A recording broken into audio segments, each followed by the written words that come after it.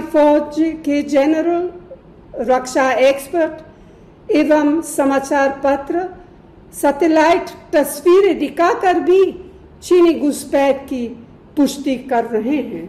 आज जब हम शहीदों को नमन कर रहे हैं तो देश जानना चाहता है कि अगर चीन ने लद्दाख में हमारी सरजमी पर कब्जा नहीं किया जैसा प्रधानमंत्री कहते हैं तो फिर हमारे 20 सैनिकों की शहादत क्यों और कैसे हुई?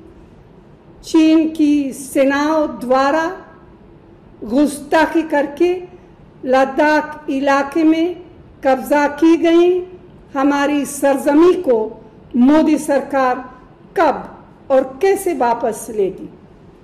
क्या चीन द्वारा गलवान घाटी व पंगोंग सो इलाके में नए निर्माण और नए बंकर बना हमारी भूभाग्य अखंडता का उल्लंघन किया जा रहा है।